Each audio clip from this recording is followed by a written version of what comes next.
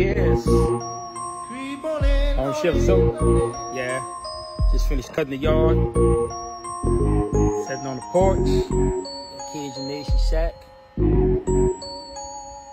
Yep, getting it ready. We'll start a little cooking when they get a little cooler. Got all the equipment ready. Yeah, just finished cutting the yard. And guess what? I deserve one of these. Blue Moon.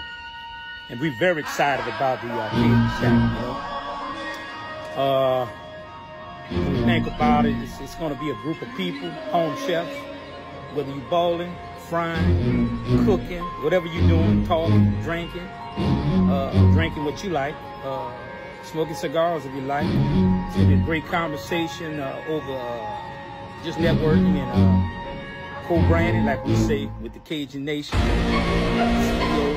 uh, your friends, Troy and Zo. We're excited about it.